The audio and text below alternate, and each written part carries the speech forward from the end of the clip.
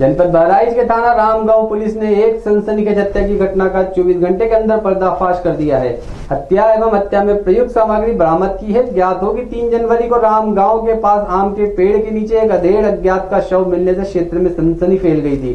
फिर स्थानीय लोगों ने पुलिस को सूचना दी थी। मौके पर पहुँची पुलिस ने जाँच शुरू की। तब मृतक की पहचान अनंत राम निवासी ग्राम शाहपुरवा के रूप में हुई थी। पुलिस ने जाल बिछाकर हत्या का 24 घंटे के अंदर पर्दाफाश करते हुए हत्या के आर करने वाले अपराधियों को पकड़ा और उनके पास से मृतक अनंत राम के सत्ताईस हज़ार रूपए एवं पाँच मोबाइल फ़ोन की बरामदगी करते हुए उनकी गिरफ्तारी की गई है। जानकारी के अनुसार अनंत राम द्वारा करीब आठ लाख रूपए अपने भांजे प्रशांत चंद्रा को दिए गए थे। अपने रुपए वापस मांगने पर भांजे प्रशांत ने किराए के हत्यारों को सुपारी देकर हत्या की घटना को अंजाम दिया था।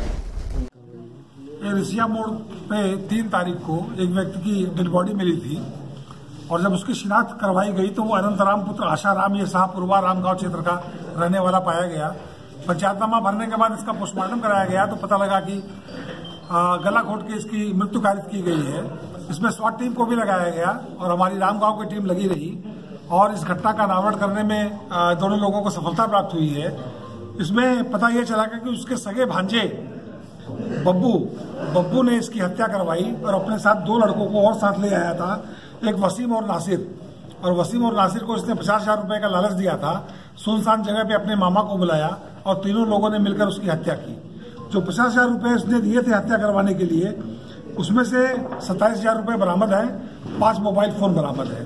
तो इस तरह से घटना का अनावरण करने में रामगांव पुलिस को और स्वट की टीम को बहुत बड़ी सफलता इसलिए हत्या की गई थी? हुआ यह था कि मामा ने अपनी ज़मीन बेच के छह सात लाख रुपया अपने भांजे को दे दिया था और जब उसको पैसे की आवश्यकता पड़ी तो उसने भांजे से फिर से पैसे की मांग की। ये पैसा उसको न देना पड़े, इसलिए इसने योजना बनाकर अपने दो साथियों के साथ अपने मामा की हत्या की। धन्यवाद।